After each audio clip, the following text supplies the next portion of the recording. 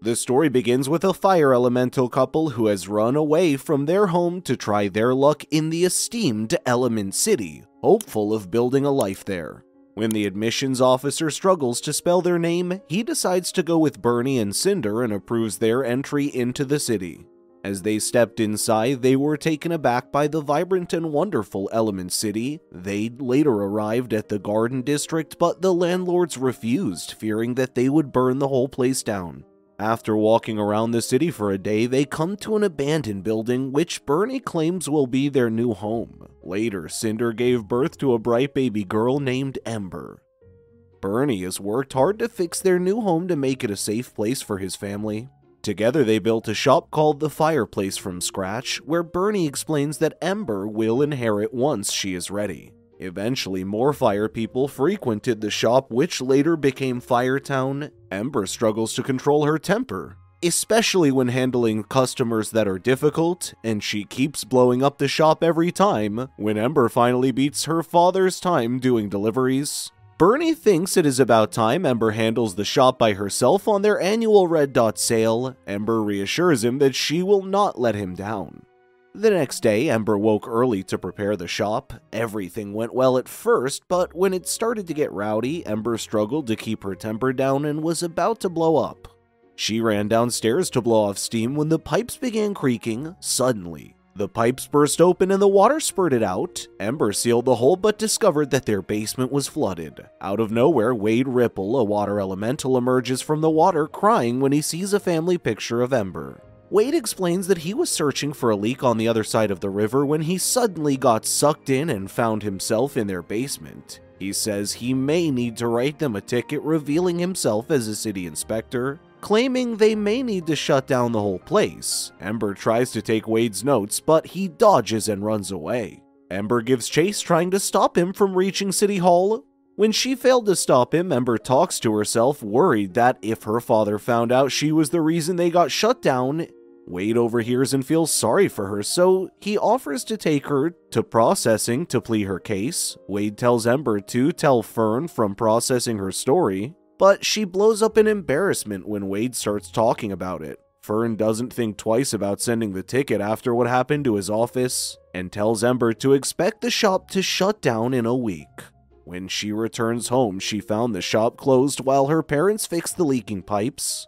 Cinder reassures him that they will get through this like they used to. When Ember asks what she meant, her mother tells her why they left Fireland. Before everything, the people there had a blue flame that connected them to one another and their traditions. Everything went well until the day a great storm came. Everyone lost so much on that day. Bernie realized that they had to leave Fireland to create a better life for themselves, especially when Cinder was pregnant with Ember. The next day, Ember goes into the city to talk to Wade's boss. Wade claims that Gale won't be in today because she is at the stadium rooting for her favorite team, the Windbreakers. Ember goes with Wade to the stadium to talk to Gale in person. She tries to explain the situation, but Gale seems distracted and claims she doesn't want to discuss work with a game going. They later argue when Gale calls Ember a fireball and Ember ridicules the players as being cloud puffs. Wade interrupts their argument when the Windbreakers are losing because of Lutz's poor performance. Wade steps up when the crowd starts booing and leads everyone to cheer for Lutz. Seeing the people cheer for him, Lutz got his game going and scored the winning point. After watching an incredible comeback, Gale was in such a good mood that she agreed to Wade's suggestion. Wade plans to track the source of the leak from Ember's house and call the city crew to fix the leak before Friday. To track down the source of the leak, they quickly head to the roof of Ember's house where she fashions a hot air balloon so they can search from above. They later find puddles of water in the canal and follow them back to a gate. While drifting in the sky, Ember gets a flashback when she sees Garden Central Station. When she was a kid, her father took her there to see Vivisteria, a unique flower said to thrive in any environment. She had always wanted to see one and was so excited when a guard stopped them, claiming their fire was too dangerous and wouldn't let them in. Years later, the station flooded and Ember missed her only chance of seeing a Vivisterian. They finally arrive at the source and find the doors are broken. Wade explains this would catch spillovers from the central canal when a boat passes. Suddenly, a ship passes by and water floods the area. They quickly ran to safety, but when she realized that the water would spill back to Firetown, she sprung to action. She used sandbags to seal the hole. Wade claims it will hold long enough for him to get a city crew to fix it before Friday. With the predicament solved, Wade asks Ember if she wants to go on a date in the city tomorrow. The next day, Ember decided to show up on their date. They started the day with movies and a photo booth. They later go to the top of a building where Ember impresses the kids with her abilities. Eventually, Ember manages to control her temper whenever she thought of Wade. They have seen each other ever since. When they thought it couldn't get worse, the sandbags broke down and a pipe burst open in the fireplace. Bernie and Ember try to save the blue flame when a delivery man suddenly shows up with flowers for Ember. She immediately noticed Wade was disguised as the water in the vase, so she quickly ran downstairs with the flowers. Wade explains that the sandbags didn't hold and that the city crew is still mad at Wade because he accidentally trapped them in cement the last time. Suddenly, Bernie walks in on them and finds Wade with Ember, to which Wade claims he's a food inspector. To keep up with the facade, Wade was forced to eat coal nuts, which were painful for a water guy like him. He later realized that it was delicious if he tried to water it down, which only angered Bernie as he took the metaphor seriously as if they were watering them down. Bernie chased Wade out of the shop and banned him from the shop.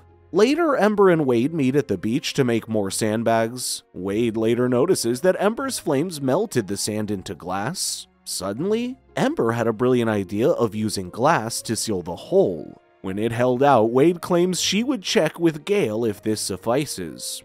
That night, Bernie tells Ember that he's lucky to have her. Ember is so worried about their shop's future that she meets with Wade to hear Gale's decision. Cinder, her mother, is awakened by the love in the air, so she follows Ember back to the hotel where Wade stays. Wade invites her back to his place to meet his family while they wait for Gale's call together. Cinder finds Ember going into the hotel, but she can't see who or what the guy looks like. She tried to follow her into the hotel, but the guard wouldn't let her through. Ember meets Wade's family, who tells her how Wade got trapped in a sponge when he was a kid. They start talking about how art runs in the family.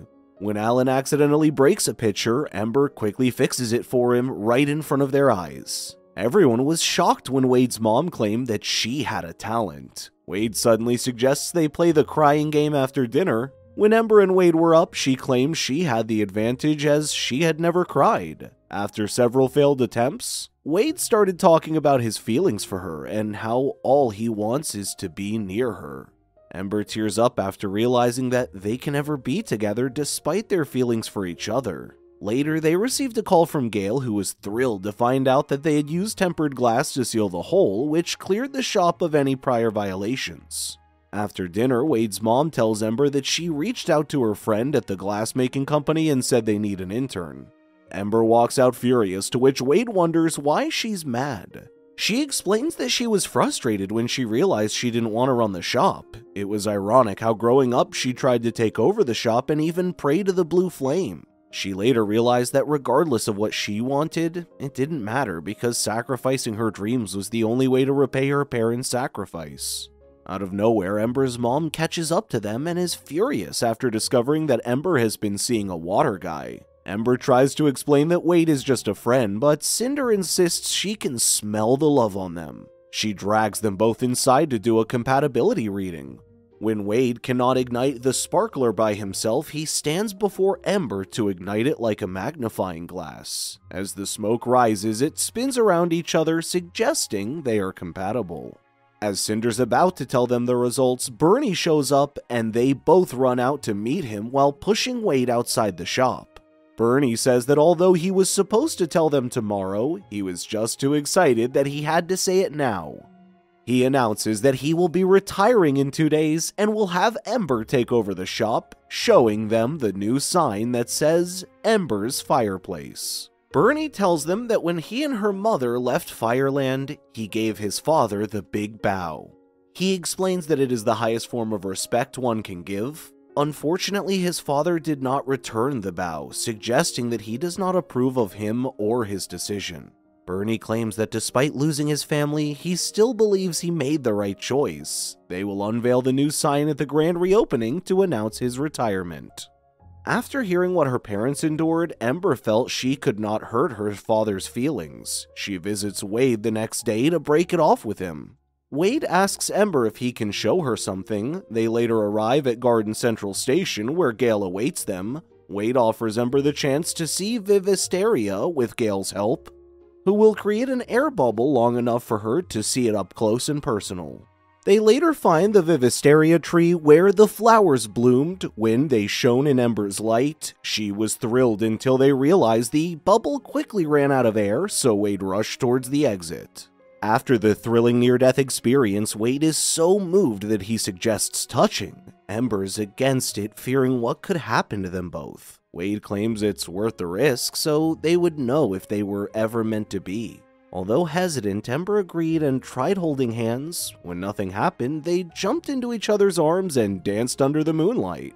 Suddenly, Ember gets flashes of her father. Ember walks away, claiming she needs to return to her life with the shop where she belongs. Wade tries to reason with her about how she must talk to her father about pursuing her dreams. Ember gets furious, telling him not to judge her as he doesn't know how it feels to have parents who gave up everything for her. The next day, everyone gathers in front of the shop to celebrate the grand reopening. Bernie stands on the platform and announces his retirement. He then bequeaths the blue flame to Ember as a sign that he has handed over the shop to her. Out of nowhere, Wade shows up to crash the party. He explains that there are a million reasons why they will not work, but despite that, there is one big reason that they can. They touched, and nothing terrible happened. When Wade professes his love in front of everyone, Ember insists she doesn't love him back and tells him to leave. After the big revelation, Bernie claims she broke his trust and rescinds his retirement. Ember runs away to the city to think. She tries to forget her feelings for Wade, but she cannot. Later, she witnesses the Watergate breakdown and water gushes towards the canal. Ember quickly rides back to Firetown, fearing for her parents' lives. Meanwhile, Wade was about to board a plane to forget Ember when he noticed something was amiss in Firetown. Ember warned people and her parents of the flash flood and climbed the safety just in time. Ember quickly dashes towards the shop to save the blue flame. The door was about to break down when Wade came to help. Ember tried to save the blue flame by making a glass wall around it. When the glass couldn't keep the water out, Wade placed the blue flame in a lantern just before they got trapped behind a room. They tried climbing up to the roof, but it caved in. Ember tries to break down the wall, but Wade stops her, claiming that the water could come in and snuff her out. Ember breaks down, not knowing what to do, but Wade comforts her, claiming he doesn't regret it. Fearing that she will lose him, Ember admits that she loves him, and the two embrace. Bernie and the others found a worn down Ember trapped in the room. She claims that Wade is gone. She finally gets the courage to tell her father she doesn't want to take over the shop. Bernie confronts Ember, claiming that the shop was never the dream, but that she was. As they hugged it out, they suddenly heard Wade crying. Ember realizes Wade is still alive and tries to make him cry so he will reform again. Eventually, Wade returns to normal and Ember runs to his embrace and they kiss. Several months later, Firetown has recovered from the damage. The fireplace is open again. This time, it welcomes all elementals. Gale bumps into Fern, who also discovers he's a Windbreakers fan and shows interest in him. Bernie has their regular couple take over the shop while he and Cinder enjoy retirement. Wade's mom and Ember's parents give a proper send off to Wade and Ember, who will have her internship at the glassmaking company. Before she boarded the boat, Ember gave her father the great bow, to which he returned the same. Ember then boarded the ship with Wade, ready for their next adventure. The end. Thank you so much for watching. Check out these other videos and make sure to subscribe and tap that bell icon to be notified about our latest videos. We'll see you next time.